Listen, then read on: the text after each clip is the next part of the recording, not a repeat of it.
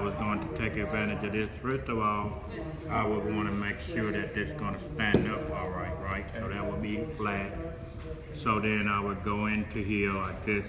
I can cut into it with a knife. Mm-hmm. I started using a knife, fork, and a spoon when I first began to work with it. So then here, we'll come in with the nose here. Mm-hmm. I'll come down side of the nose right there. I bring my nose in real good. This is a takeaway process, so it's like a relief. Yeah. So then I'll put my eye in there. Yes.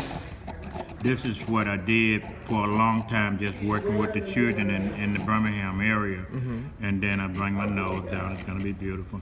You gotta remember, my main thing is to stay focused because once I take away, I can't put back. So that's gonna be that. And then I bring in my top lip here, right here, it's gonna be beautiful. Bottom lip there.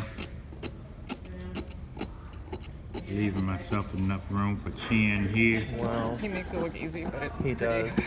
it's hard. Bring it down, down, down. Gonna be beautiful.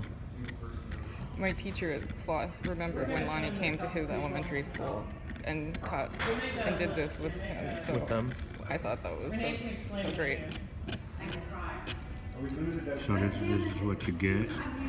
All right, there are a lot of times if you are dealing with coarse sand or, or sand like this right here, you want to try to find, because of the way that they casted it out, mm-hmm. they were using landfills afterwards.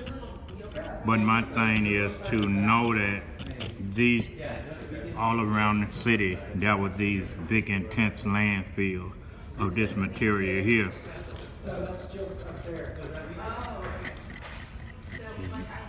See? It's gonna be beautiful. So if I was gonna have this recasted, or if you wanted to recast it, then I'll do this shape here. I'll give it to you. Then you'll take it somewhere and cast it into gold, bronze, or brass. You see what I'm talking about? Yeah. You can then cast it. It can even be casted. Uh, alum, aluminum sculpture can be made out of it. So we're gonna bring the uh, bring this here, where I can say that I'm at the end of this piece. It's beautiful. Want to put the beak of that bird right here. Be a bird. Be kind of like an eagle right there. Bring that eagle's beak on there.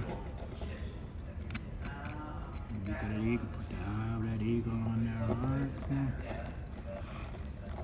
So this was my first job just working with the children is to do something like this. I started in Birmingham as a crime prevention tool.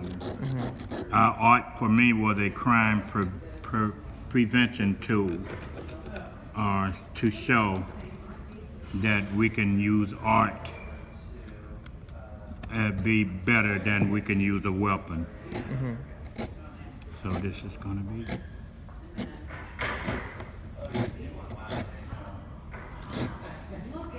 That's beautiful, that's beautiful. That is beautiful.